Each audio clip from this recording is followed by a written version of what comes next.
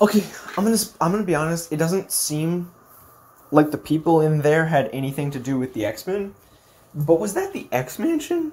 You know the fucking place I'm talking about. The place that fucking had the X on the door and had those weird security guards coming in and out. What was the symbol on the fucking? Explain to me this, man.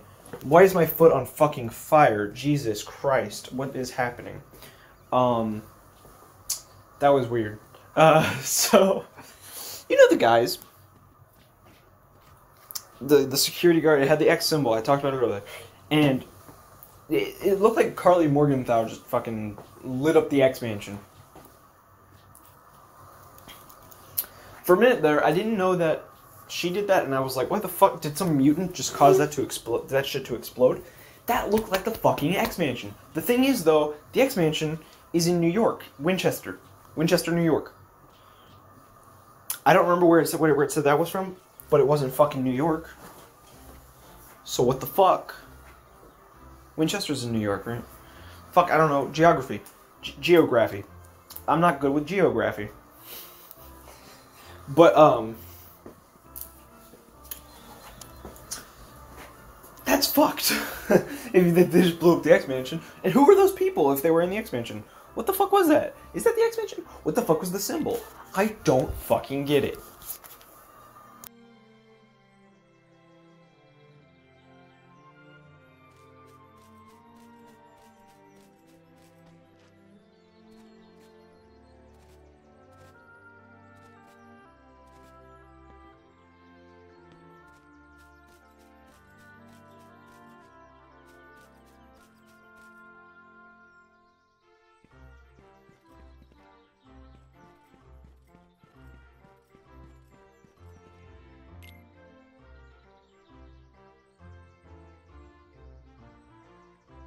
Guys, I'm a fucking idiot.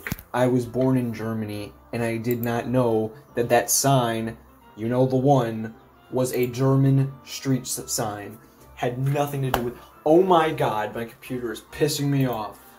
Um, had nothing to do with the um, the X Men. So that Gambit theory can go out the window too. Anything I said about the sign, you can throw out the fucking window because I'm fucking stupid. I'm fucking tarded. That's all there is. Um, yes. Any questions? it's a it's a blue sign with a red X along it, um, and it's got a red outline as well. Um, it's a German stop sign. A, me- or it's a German sign that means no stopping. I'm a fucking idiot. Oh my god.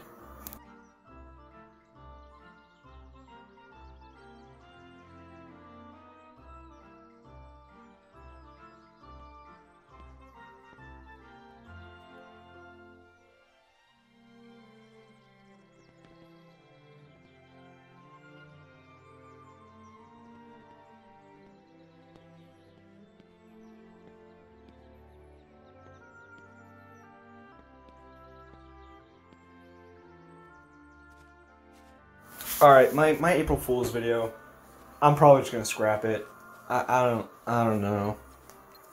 I'm at the very least gonna mark it as April Fool's if I don't scrap it because I, I just didn't have time to put one out. I really wanted to. I really got fucking all this cool shit, so I'm a little bummed out that I didn't get to partake in my favorite holiday. Um, but well, actually, my favorite holiday is my birthday because I'm a self-absorbed asshole. But whatever. Um, but anyway, it's not a fucking holiday. Um, what the fuck was I even going to talk about? Ah, yes, I'm watching Falcon and the Winter Soldier, and I haven't finished this episode yet because I pulled a double at work. So that means I'm like 10 minutes into the episode. 10 minutes, something like that. But I was looking at the fucking. I, I was looking at this one scene. I saw some weird symbol. I was looking at it for like five minutes. I was like, what the fuck is that? And is that the, what the fuck I think it is? Is that what the fuck I think it is? Is that what the fuck I think it is? What the fuck is that? You guys know what I'm talking about. There's a symbol right after Zemo and the Zemo and the gang leave in their car. It cut and and Bucky's like, or Sam's like, You're not gonna move your seat up, are you? And Bucky's like, No. What the fuck was that symbol? What the fuck? Tell me right now. I'm over here looking at this pop figure I just got as an Easter gift. Venomized X23. What the fuck was that symbol? Why did you say that name?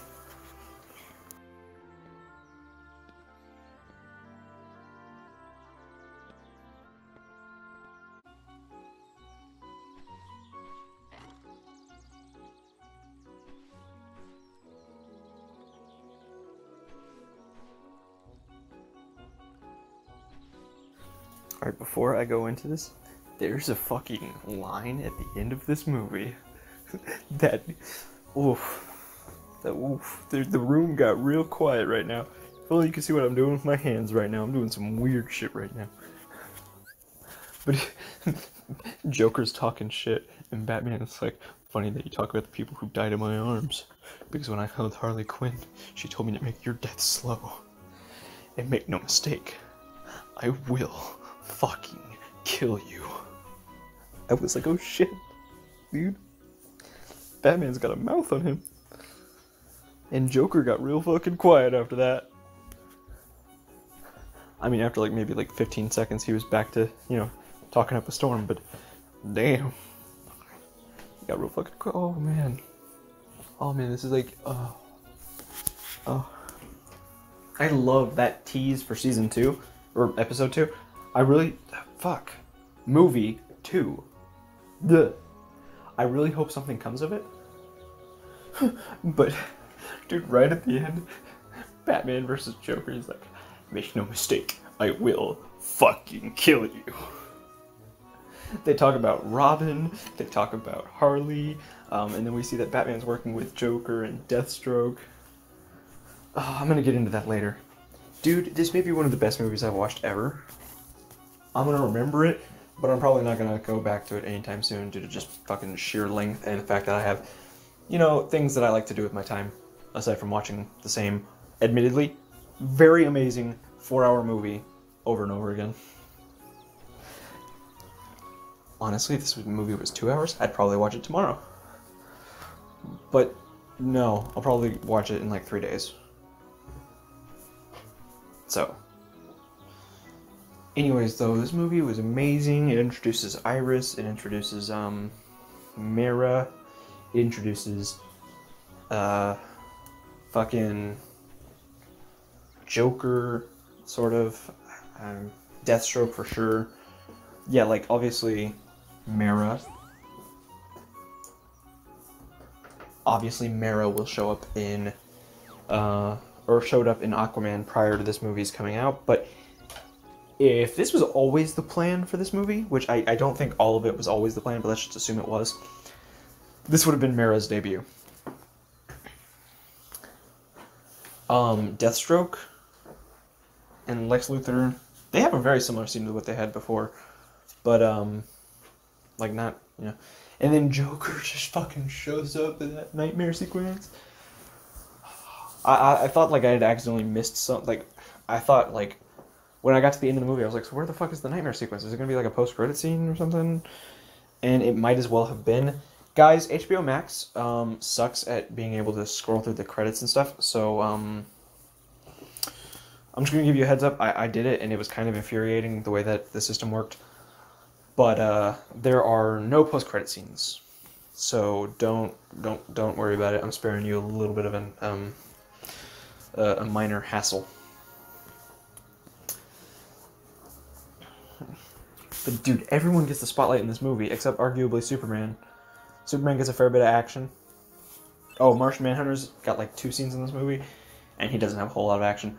What the fuck was happening to Bruce Wayne though? something in that in, in the end of that movie, he looked real fucking weird. I don't know what that was all about. The end of that movie, it looked like they just fucking CGI'd him together. I was getting some. I was seriously getting some fucking Luke Skywalker Mandalorian vibes. Only this looked marginally better. You know, I could be just be like an ass. And maybe he's just not wearing makeup or something because it looked really weird. It was uncanny, dude. It was like, well, I can tell who that is, but at the same time, what the fuck is going on with his face? I don't know, man something was definitely afoot there. Um, But dude, that movie. It could have also just been a filter, something. You know, the filter makes things look weird all the time. But nah, there was something weird there. Um. But in that nightmare, because the flat like the version of the Flash in the nightmare. Okay, let's rewind a little bit. So this movie opens up with Superman's death at the end of Batman vs Superman. Um, but it shows like a new perspective. You saw it in the trailer. He awakes, awakens the mother boxes, and they call forth to um, Steppenwolf and Darkseid.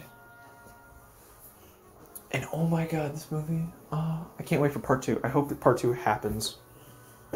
Like WB needs to get that shit the green light immediately. But uh, yeah, more or less, um, the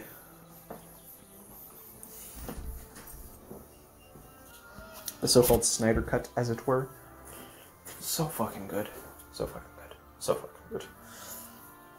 Um, the Batmobile gets a huge amount of a huge bit of spotlight. That's not them, Diva. It's not them. Sit.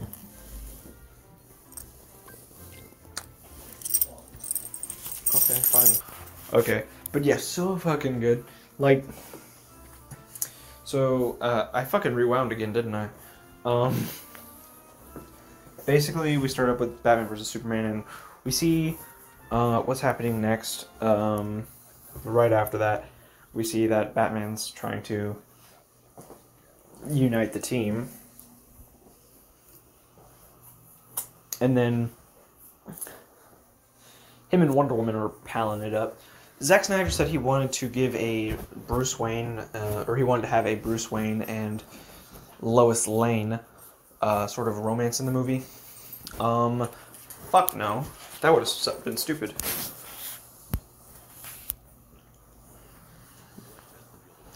So, uh, yeah, the, um,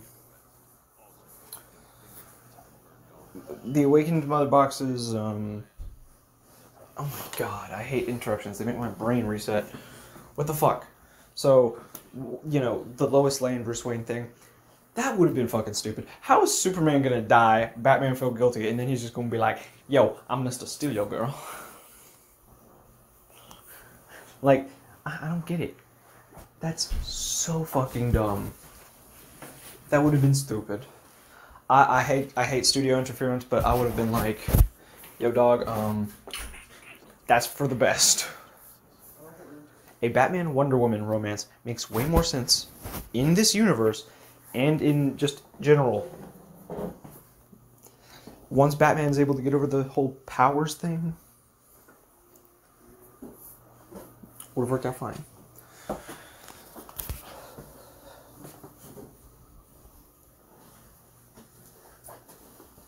But um, yeah, Bruce uh, trying to get the team together. Diana keeps showing up in it, or keeps coming in and out of the Batcave, and then uh, they go talk to Aquaman, and he's like, "Nah, I'm fine. I'm I'm good."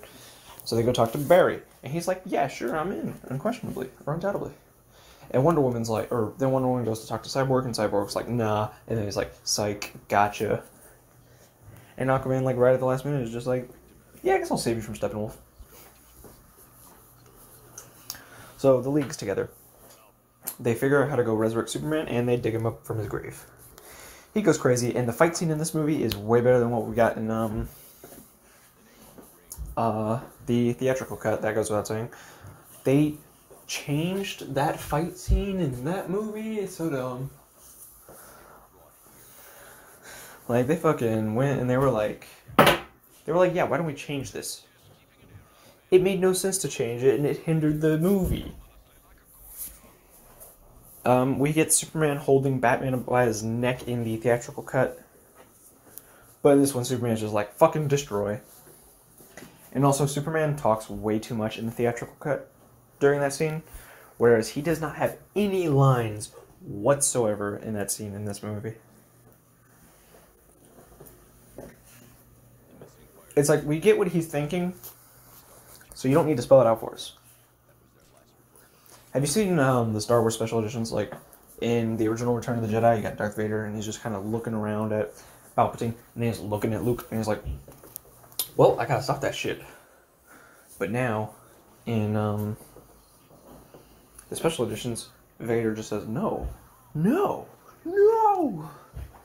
It's like you don't need to, you know, you don't need to have him talk. We get what he's saying. Nothing. Like he's saying nothing. So, uh, yeah. But uh, there are a lot of beats that I don't really want to bother explaining because you'll see them in the movie and they're not really that important. Um, it's just really set up. And this is not going to be a breakdown or a play by play, just my general thoughts, right?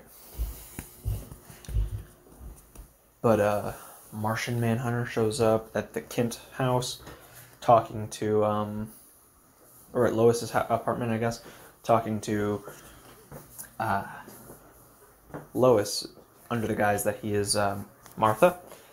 And then he turns into Martian Manhunter and he's like, Whoa, whatever, man. I'm fucking I'm Martian Manhunter. And he turns into Swanwick. Swanwick, I think is his name. And he's like, The world needs you too, Miss Lane. And uh, so, yeah, I, I, don't, I don't know why he turned back into Martian Manhunter before turning into Swanwick. I, I guess they wanted to confirm that those two are the same guy.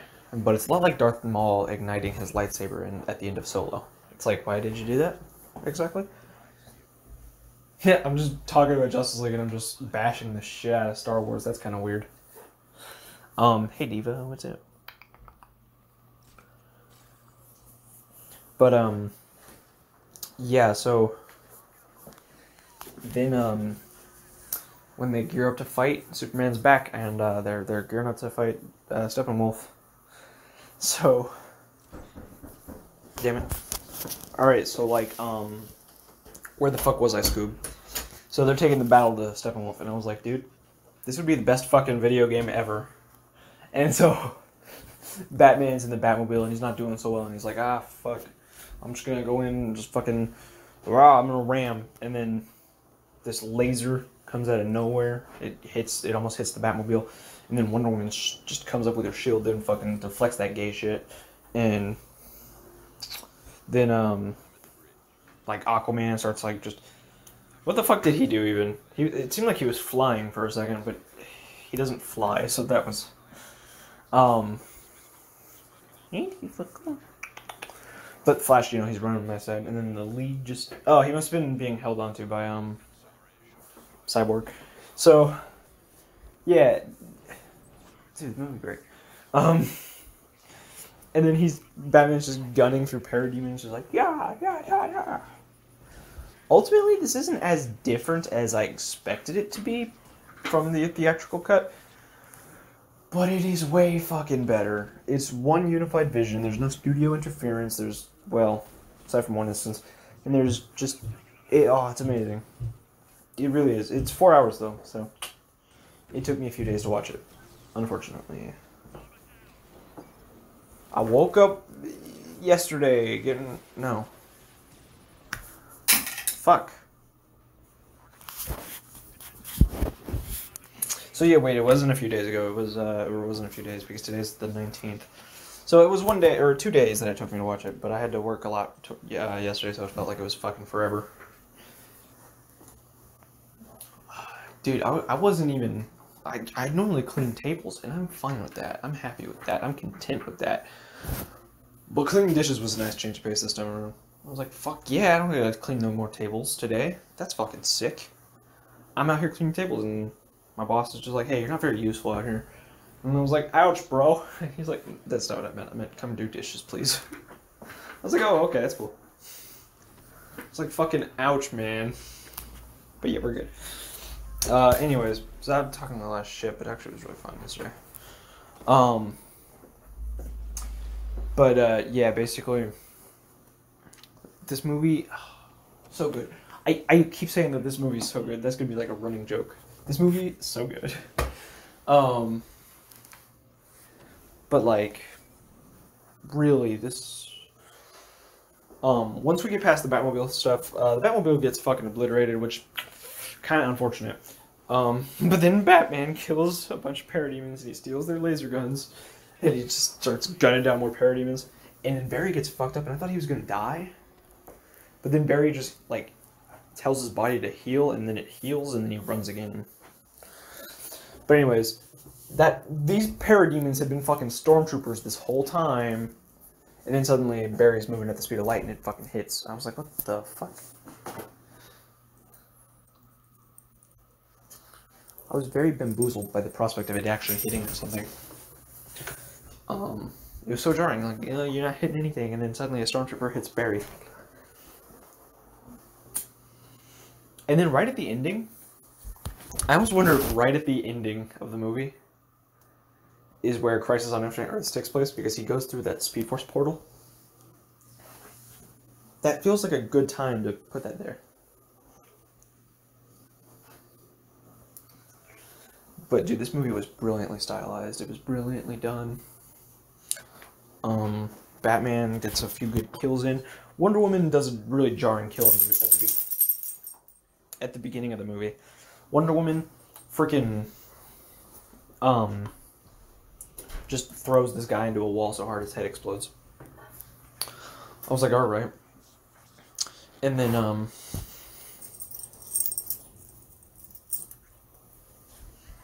and then, uh, uh, I, I like how they portrayed Flash's speed as if he's got to be like very, very fucking careful every time he does something. I hope they don't go through with that too much if they do a sequel or in the Flash movie, but because the Flash and Quicksilver just being able to just do whatever they want without having to be careful is really cool in my opinion. And you have Flash who's like trying to save Iris, but he's trying not to touch her at the same time.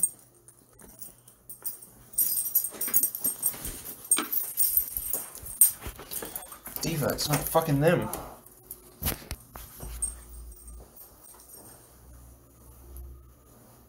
But um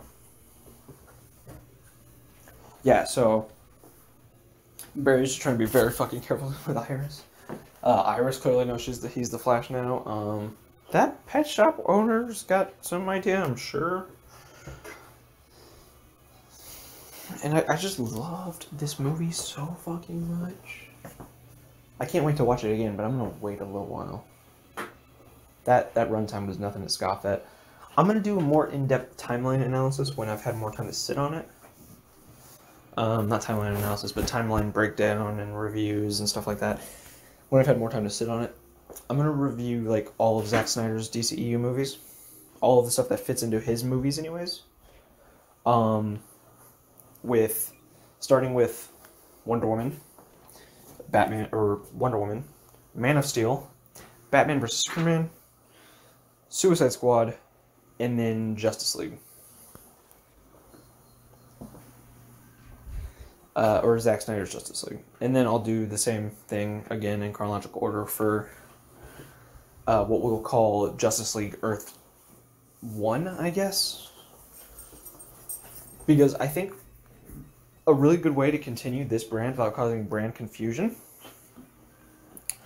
Because you know what, WB, they were like, well, you can't have two, a version of Batman on TV and a version of Batman in the movies because that would be confusing. They kind of called me an idiot, right? I was like, what are you fucking stupid? Um, thinking I'm stupid, but but uh, Batman. But I, I think having, I think if you release Zack Snyder's Justice League two, and then you release Justice League 2, that could be genuinely kind of confusing. So here's what you do you rebrand everything in Zack Snyder's universe as Earth 1, and rebrand everything in the other universe as Earth 2. There you go. And then eventually you can have some sort of crossover and stuff like that. It, it, it'd be, I think it'd be pretty good. Diva, if your dumbass would stop running. If you would just stay put. Now, get on the bed.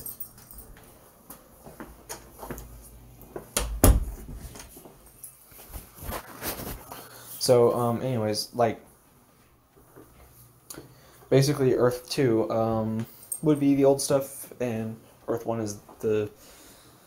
Or I guess Earth 1 is the old stuff, and Earth 2 is the new stuff, and so. Yeah, I think that'd be a good way to rebrand it. Uh,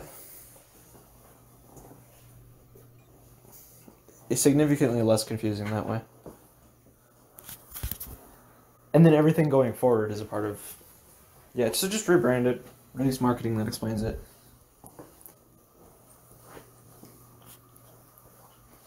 And I think that's how you do it. Um, Earth 1 Earth 2 labeling might be kind of confusing though. Because we don't even know what the DCEU designation is. As it's the only thing to not get a designation during Crisis.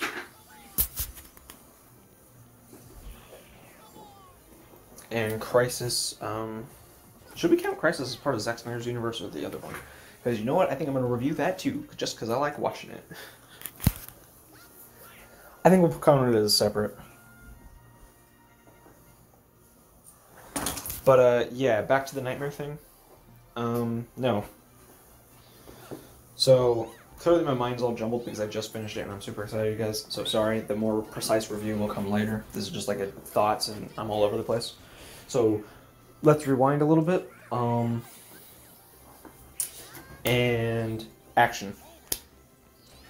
So they the team fights Steppenwolf in a hard, hard battle. They've got no secret weapon,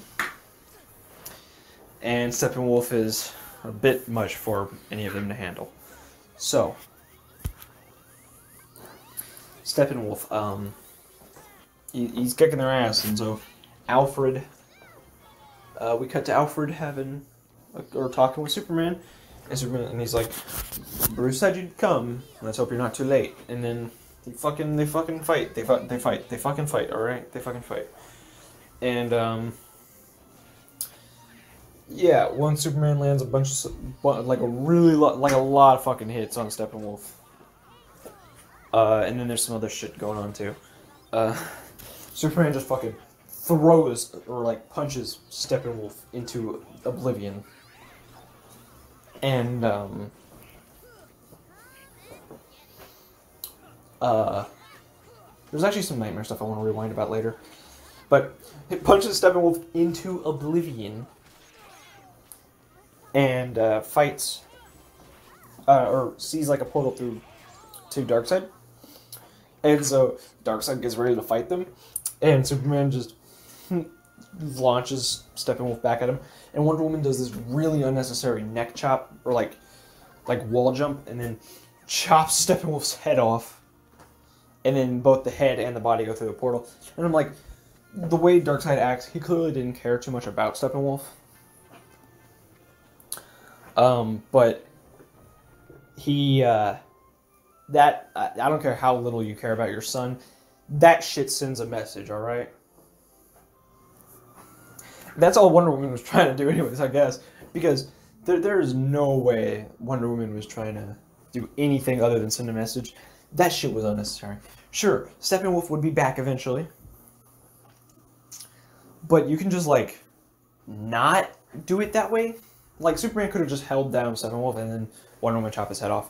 No, she's like, I'm gonna send a fucking message, you bastard. You stupid bastard.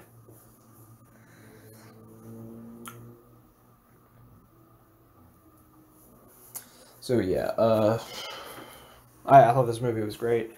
Um, love the ending. The nightmare sequence that I wanted to talk about several times over. Let's get into it already. Um, oh, actually, the thing that really needs to be talked about first. They have an ending scene that's almost exactly like what Joss Whedon had shot. Um, just the dialogue is different. He's like, Joss Whedon had one good idea. Yeah, so either way, there's got to be a Justice League 2 and a Justice League Snyder Cut 2 thing. I don't fucking know. Um, because they're, they're filling different stories here, clearly. But basically, uh, Zack Snyder um, put in the scene, and Lex Luthor was like, oh yeah, you, well, you want to know something? Uh, Bruce Wayne, uh, yeah, he's fucking Batman. And I was like, what the fuck? And then Deathstroke knows it, and he's like, oh, well, we do have something to celebrate. And then the next, the very next fucking thing is the nightmare sequence. We see Batman get out of a car. Uh, he's got two figures behind him. At first, I thought it was Wonder Woman, and then I was like, oh no, it's Aquaman. And I was like, oh fuck, it's Mera. Amber Hardening. But um, I don't think those nightmares are actually happening. I think they're just like visions of what could happen. So just replace Mera with another character or recast. Uh, because we seriously don't need Amber Heard uh, in these movies. Shitty human being syndrome. I sorry, I thought that was very distracting. I was like, how can you have this bitch in this movie? Anyways. yeah, I got pissed off a little bit just now. Um, so, anyway, uh, the uh, Mera's like she killed Arthur. Oh, also we see Barry in his uniform, in his outfit from BVS. Uh, but he's like, she killed, or Superman killed Arthur. Do you know what it is like to lose someone you love? And Joker's like, he does. He lost his mother. And Bruce like, be very careful. He lost his father. Oh, that's not very careful. And he lost his adopted son. And Batman's about ready to beat the shit out of him. And then Deathstroke's working with him too. So Batman's teaming up with Deathstroke and Joker. It's like, what the fuck? What the fuck kind of sci-fi action is this? Um, and so yeah, the team is now Cyborg, Mera, Deathstroke, Joker, Batman, Flash.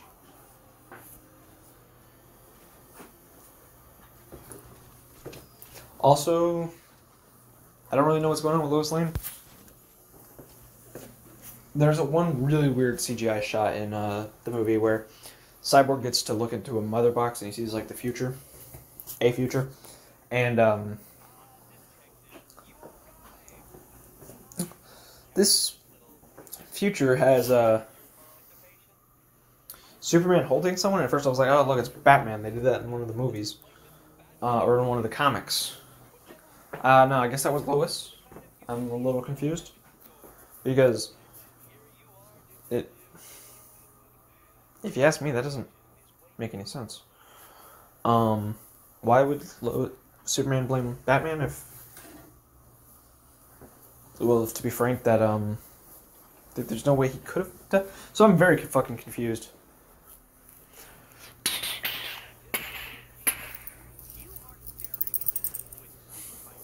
So uh, yeah, this, this movie was fucking fantastic. We have Martian Manhunter at the end, um, and uh, yeah, that's nice. Uh, the only thing I think that the and yes, I found one thing that the uh, theatrical version did better. Uh, I think the Green Lantern fighting Steppenwolf was slightly better than the Green Lantern fighting Darkseid. Because in the dark in the Darkseid fight in the Snyder cut, um, he just shoots a bunch of green lasers at the guy. Uh, but in the theatrical version, he creates like a hammer construct, and I thought that was cooler. Um, but that's like the one thing that the other one did better. The only fucking thing I think. Uh, so the green Wrigley ruse wasn't doing anything for me. I was hoping that that shit would get hyper violent. But uh, seeing Zeus and Ares team up was kind of cool. Ares wasn't in the um, theatrical version. So yeah, like seriously, everything else was better in this version. Just small little nitpick. Because as I was watching that, I was like, ah, fuck, he dies in a cooler way, but uh,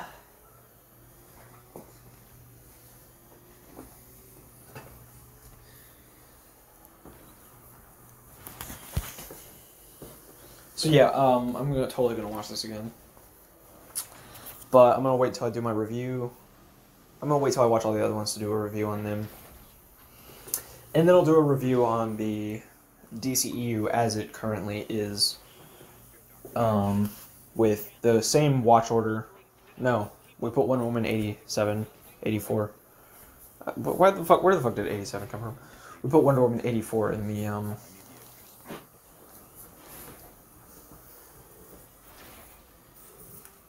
in, in, in between Man of Steel and Wonder Woman.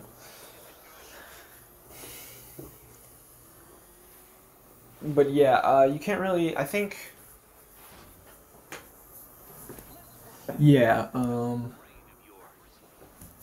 the new DCU really isn't that coherent. Um, but the old one that Zack Snyder was working on kind of worked like, at the very least, there weren't a whole lot of plot holes. But now you find plot holes wherever you fucking look in the new one. So, gotta say, hmm, although I think movies like Shazam and Aquaman are really good. I thought Wonder Woman eighty four was really good, but it didn't it didn't jive. Like, why is it set in nineteen eighty four? Why why the plot line that it used? Why did it use the plot line that it used? And it kind of contradicts what Wonder Woman says in Justice League and BVS. So that is kind of some BS. But we'll get to that later. Um, gotta stop showing my hand.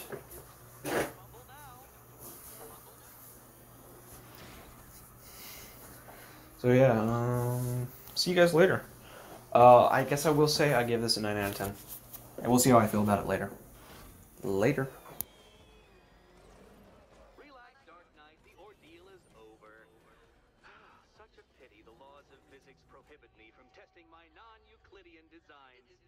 Now then, detective, hop on the pressure pad beside me.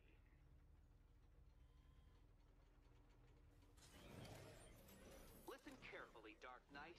Your friend's life depends on it. Back in the orphanage, a series of glass cabinets have appeared in front of Catwoman. Isn't that right, my dear? I see them, Eddie. So there's some something I should say um, about the Justice League thing. I said um, at the end, uh, I said Ben Affleck looked really weird and it looked like some bad CGI. Um, ah, damn, I think the cats have defiled this room with the litter box.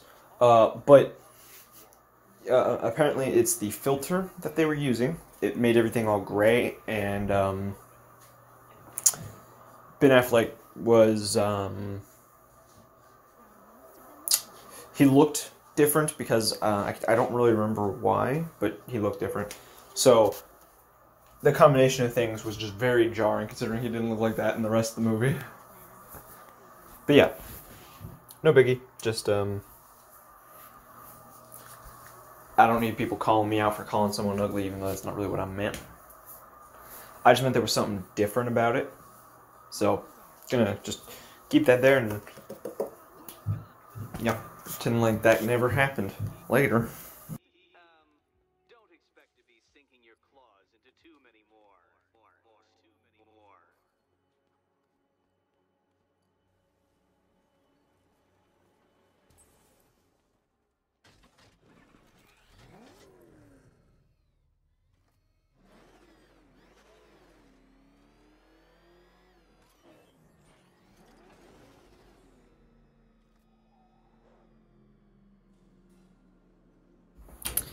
So I just thought of something cool.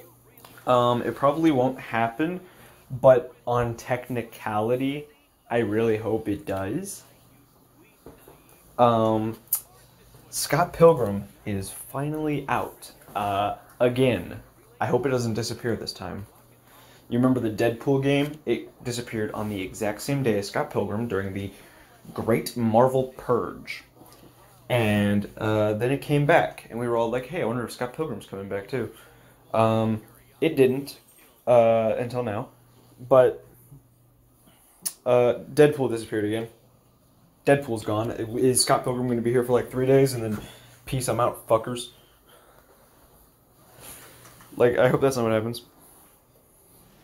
But, uh, it'd be sick if the way Ubisoft decided to hold uh, hold on to the license is by um, putting him on uh, putting him in like a new game and putting him in um, Smash Bros.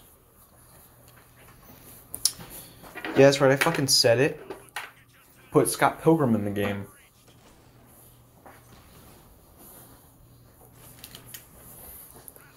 It'd be cool if like he had um, if it was like a Simon and Richter Belmont situation.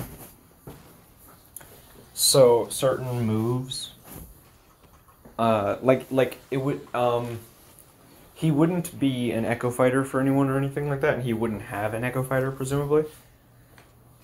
But perhaps um, you play as Scott, Ramona, Stephen, and Kim. Uh, and then they have like variations and stuff. Stevens is Wallace, and um, Kim's is uh, Knives. But then you also have Nega Scott and Nega Ramona or whatever. Hey Diva. Hey Diva. Woo, woo, woo, woo, woo, you. You can't get on my bed right now. You peed on it earlier. So I have to clean it. The sheets are still in the washer. So, um, yeah, the,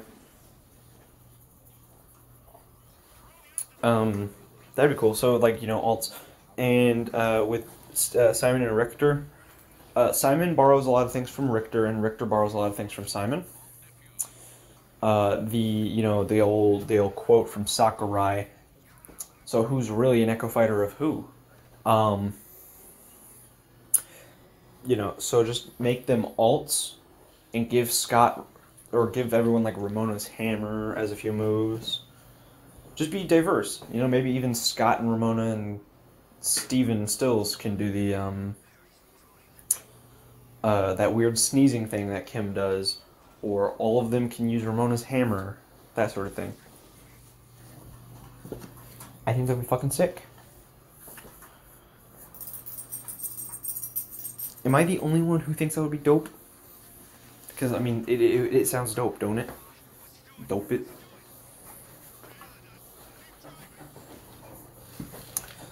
Um, yeah.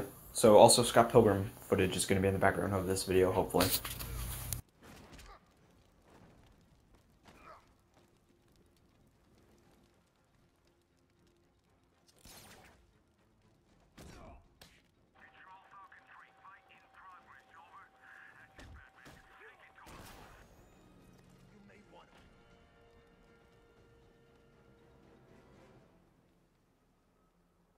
Start talking. I'll tell you when to stop. You want to know about Riddler? I know lots about Riddler. Much obliged.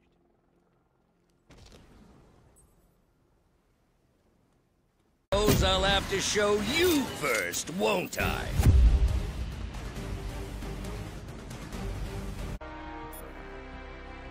You'll never defeat me! Never! The future is mine to... Never! Never! I am. Huh. I think I finally broke him.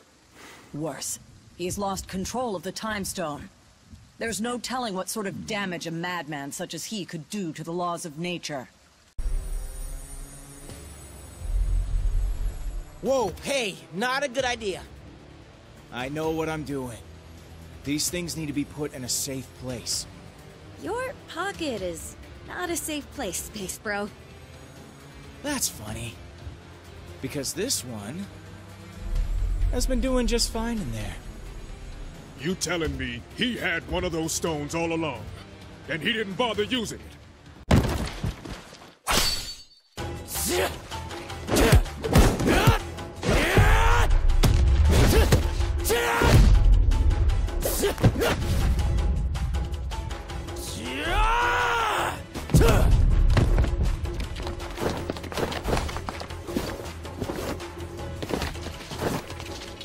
Much as I appreciate a timeless weapon like yours, I prefer an immortal one like mine!